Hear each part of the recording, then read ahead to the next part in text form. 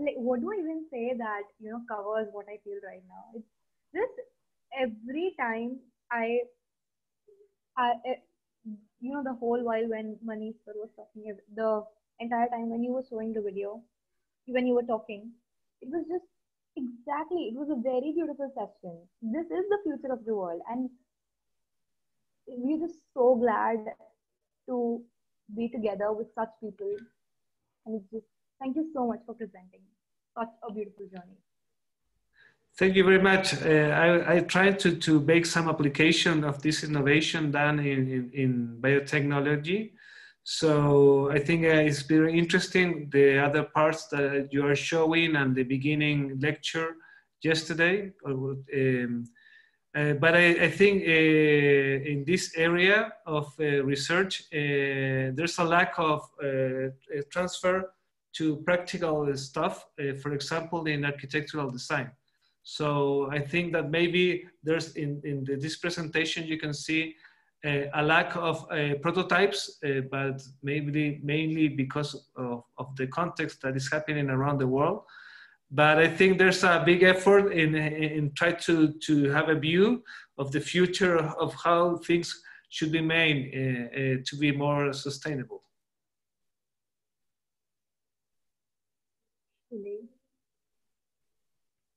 Okay, so um, actually, let's give audience to let's give the audience a chance to say something.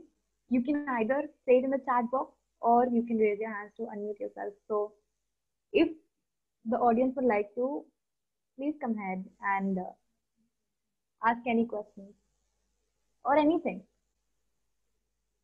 Would anyone like to uh, volunteer? Yeah, sorry. I'm checking out the, the, the chat to see if there's uh, any kind of questions. Thank you very much for the the the, the greetings.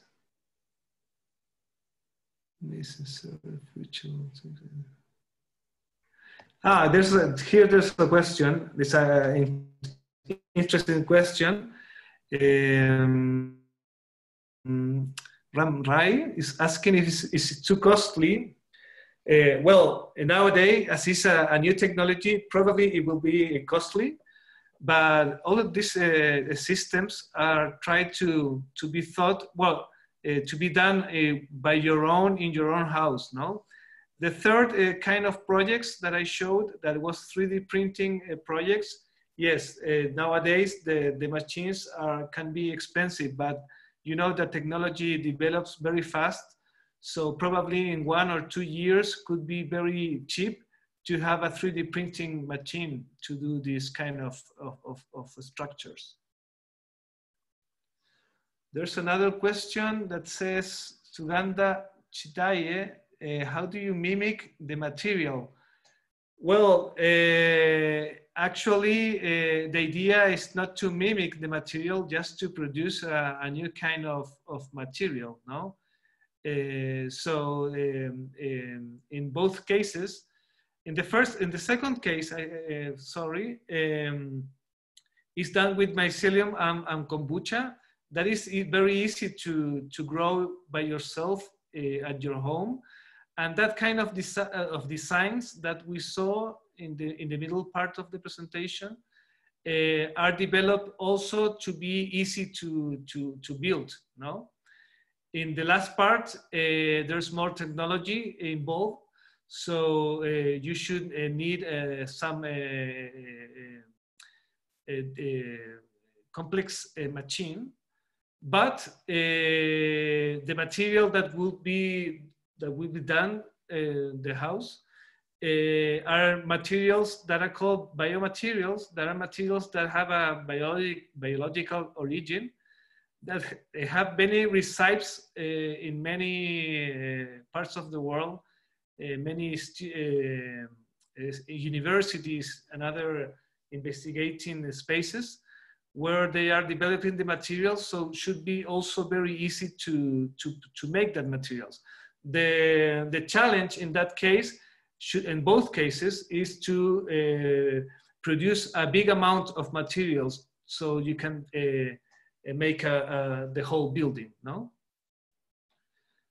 um, these other pro what projects are planned for the future? Uh, well, in my case, I'm a designer, so uh, I try to, to, to keep on, on my side of the of the the innovation uh, chain. So, uh, my plans are to keep on designing and build the possibilities of these new materials. I hope that in some moment I can make a joint venture with some producer of these materials to start doing prototypes. Uh, this uh, another question. I think this kind of material is very sensitive to heat. So how do you gonna build with very high temperature areas? Uh, that's a very good question because uh, here in, in, in Chile, we have a Mediterranean climate mainly. So we don't have that kind of problem, no? Uh, but I'm sure that the, that's not a problem of materials. Uh, nowadays, many buildings are done with very bad materials and there are some design operations that can let you uh, um, solve this kind of, of problems. So I don't think uh, that if uh, you design this kind of projects in, in a very heat uh, place, you will have uh, problems to, to develop them. Can, you, can this project be different from different countries? Absolutely, no. Uh, as I told you before, uh, all of these projects uh, have been thought in the context of my country. So when you when you design in the context of another country, probably you will meet another challenges. But I, I am very sure that this kind of materials and technique will help you anyway to to develop in in, in other kind of countries in other kind of environments. How can you fortify materials that don't have a high tensile strength? Uh, well, um, as I tried to to to tell you, uh, more of uh, the more of these projects are thought uh, in compression. So these materials can be very useful in compressions in another kind of um, structural structural um, uh, needs, uh, probably you will have to change the material. Um, but um, I have seen also many investigations trying to uh, change the structural resistance of some materials to other uh, structural resistance like tension, for example. Thank you, sir. Besides the design, what more does this bring around society? For example, we made use of uh, Oh, uh, I don't think it's a merit of the project, I mean, of the materials and the technique to avoid, uh, for example, the use of AC. Uh, you can have, a, if you don't design well the system, you will have a, a, the same problem of heat, for example, of cold, no? So I think the, the, the, the challenge of sustainability it works a little bit with the materials, but it works also with uh, with the design, no? Uh, with the geometry, the form, etc.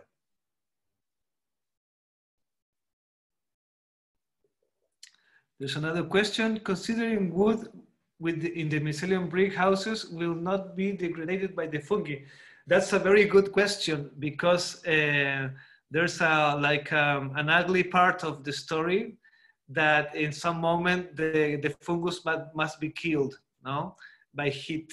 So before you put the components in the in the site the fungus uh, is killed. So there's no problem of the fungus eating the the wood in this case but that's a very good question. Uh, sorry ritika uh, I, I don't know how much much long we, I can be answering the question because I think that somebody after me or is in a parallel channel. No, no problem to continue with the questions. No problem. Please, please continue with the question. okay. I, I, I, I see you enjoying so much. I, I don't want to rob you of that. Okay, okay. Uh, I'm having fun, so it's good for me. Um, all right, thank you, sir. What kind of challenges one has to overcome before bringing their ideas into application? Uh, that's a good question also of Nidhi Singh. Uh, the challenges, well, the challenges that I'm facing right now is to be close to the development of the material. In my experience, in, in this kind of uh, design, usually there are two bands, no, or two, two, two teams. Uh, one team is are the ones that are very uh, impressed and happy uh, trying what are uh, what is the result of cultivating organisms no uh, uh, so they keep on just producing materials but they don't never confront the the challenge of of applicating this kind of materials to design and the other team is the team where I am, no, uh, where there's uh, too much design, uh, lots of uh, thoughts and uh, of how can be this applied, but there's a lack of of testing this kind of material. The other challenge that I think that you will confront is um, the, the, the size, no? The size of, of this kind of, of, of constructions. Uh, usually you see a lot of uh, biofabricated uh, objects, no, like lamps, I don't know, glasses, whatever, no, that has a small scale. But I think that today um, machines are very well developed and, and, and technologies also. So, and, uh, and a big scale production of these materials uh, can be solved uh, if you copy uh, the production of, of food, no? Uh, mycelium uh, uh, fungus is something that you eat and is produced in an industrial scale. So you can switch that industrial scale not for making food and, and, and, better for making architectural components. Is there any alternative way from which the cost of production can be uh, minimized? Well, um, uh, in the case of 3D printing uh, architecture, um, the, the, the, process can be automated and it can be fast. So even though the initial cost of producing the material or, or using the or buying the machine uh, probably when you start uh, making a lot of, uh, of houses, uh, the cost will go to, to zero. Thank you, Nidhi.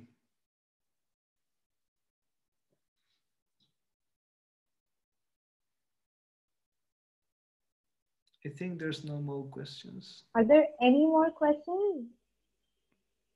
We'd love to have all of them no problem.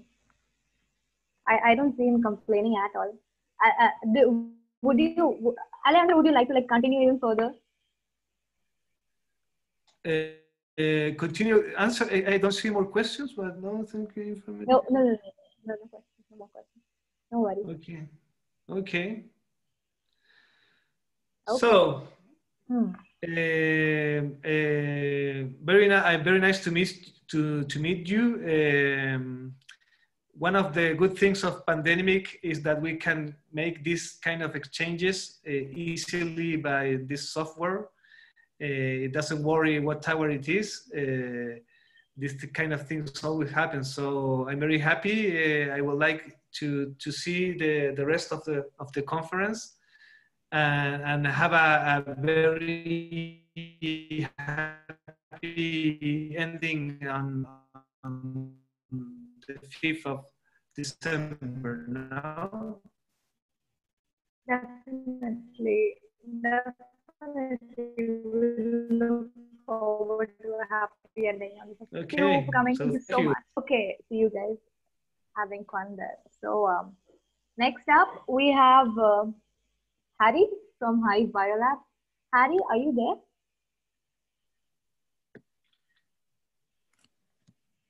Harry, can you hear me?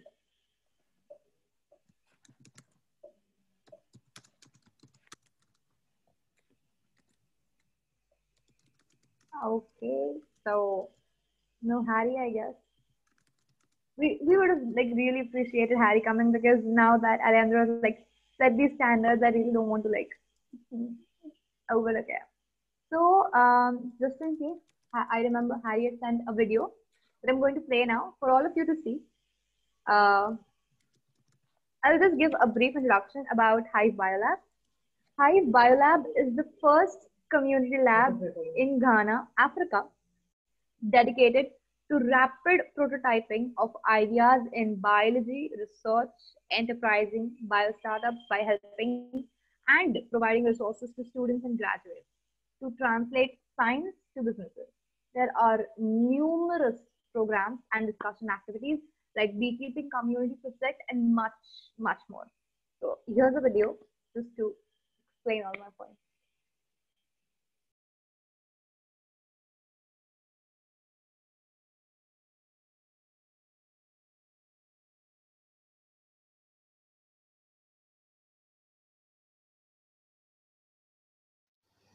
Hi, and uh, we are super excited to be participating in this year's Darwin conference.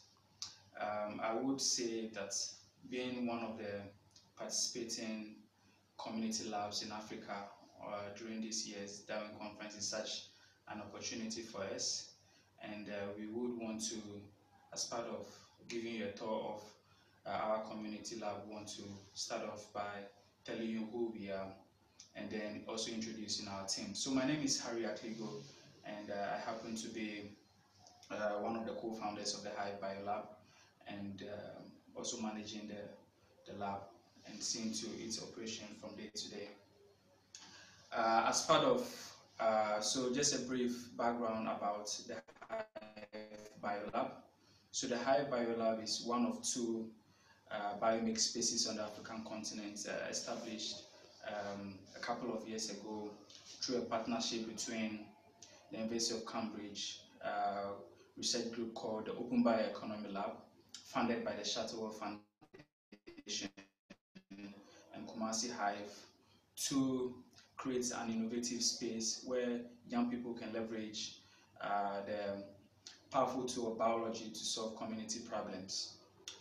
Specifically, the lab has been working on the Open Enzyme project to create an open, equitable, and sustainable bioeconomy in Africa uh, with the mindset of helping produce enzymes for molecular biology applications.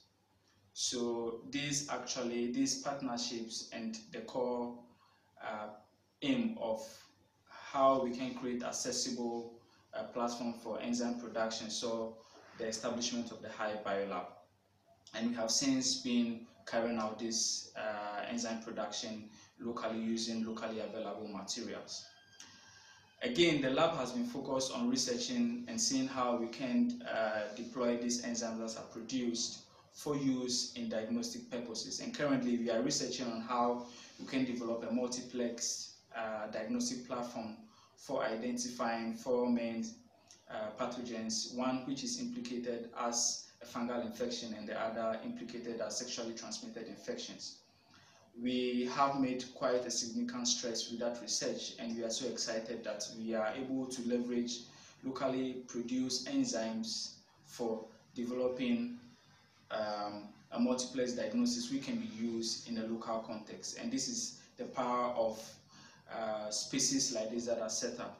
So just giving you a quick tour of the lab. We, our lab is a small one, uh, but we are still able to use it for uh, the amazing works that I have taken you or explained to you not too long ago. So we have uh, our benches all around. We have major or majority of the equipment that we can use for doing molecular biology. We have our centrifuge, we have our chemical racks uh, up here uh, loaded with tons of molecular biology reagents we have our spectrophotometer. So we, we are making use of the little space that we have in doing this. But on top of the things we do, and because of the environment in which we find ourselves, where we have uh, limited access to funding and we still need equipment to do the kind of work that we are supposed to do, we are involved in locally building hardware for biology. So harnessing the power of 3D printing and laser cutting, we are able to manufacture or locally build some of our hardwares that we use for our experiments.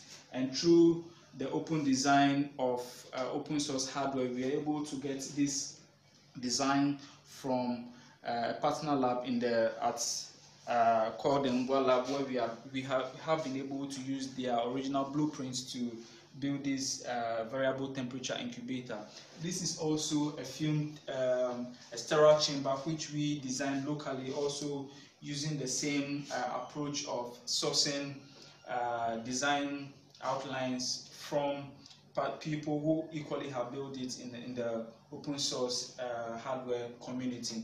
And so far, this is our little space that we are leveraging for uh, solving community problems, leveraging biology. I would want to introduce uh, the amazing team that is equally helping to move the kind of work that we are doing in the lab uh, here. So I will call on uh, who would introduce himself, uh, himself, and then we have another colleague of ours. Hi, so my name is Prince Edem Samu, uh, biomedical engineering graduate from the University of Ghana. I'm currently working as a research assistant in the Hive Biolab, uh, working on the molecular biology to uh, enzyme production, uh, technically like those things we are doing.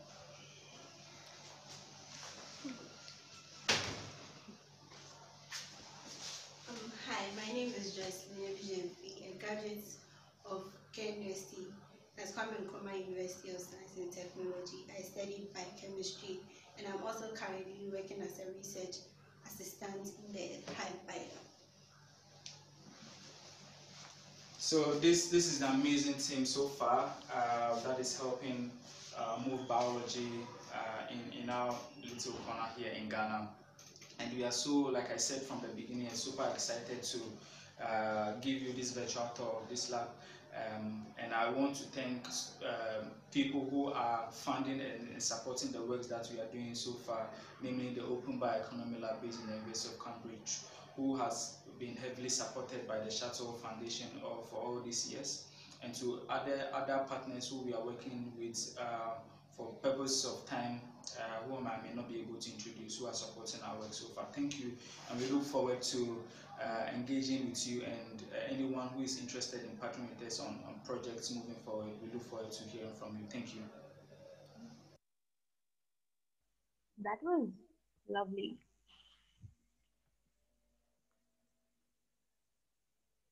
Ah, okay, so uh, I'm not sure I can take any questions in Harry's place because I don't think I'm an expert enough in the field. But again, um, we have something for you coming up on the screen again.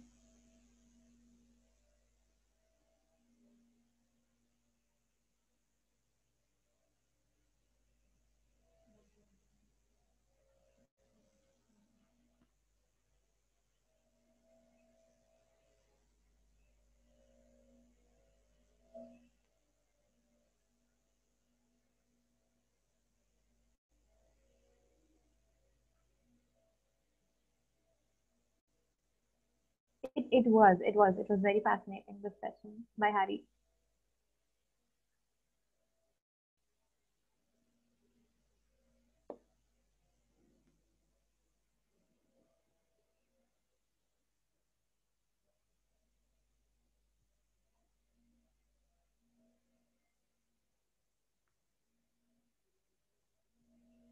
Okay, now closing this poll and having another.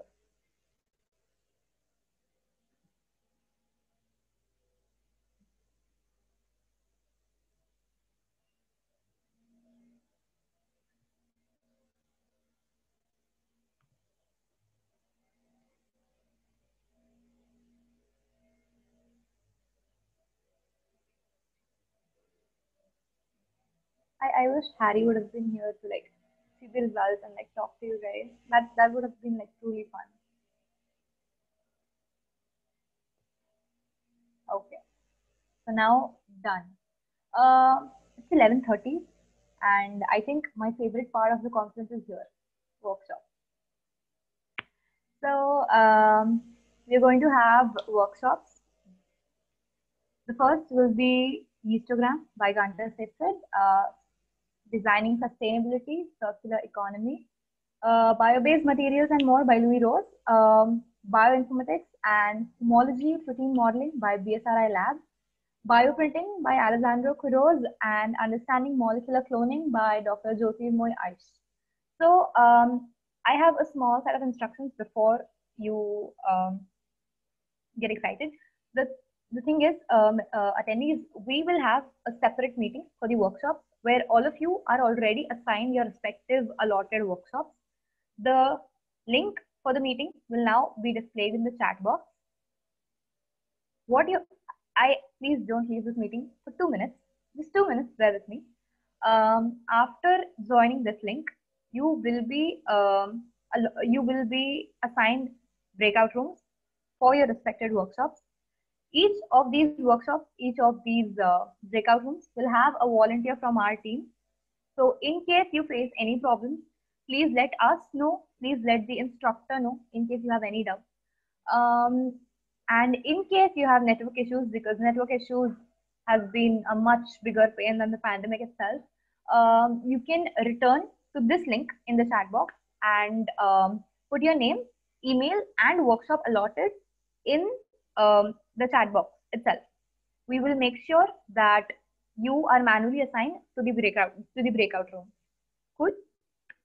So uh, after workshops, we have um, our lunch break for an hour, and post the lunch break, um, I request all of you to come back to this meeting. The link which will be sent to the WhatsApp group, just in case. And in case you are still confused, what you can do is go to the Darwin login page, log in with your assigned email ID, see the events in uh, their sequence, and you will be provided a button to join via the website itself. So everything is sorted, everything will be enjoyed, everything in its own time. So I'll see you guys. Okay, you guys can join the link and go to your workshops.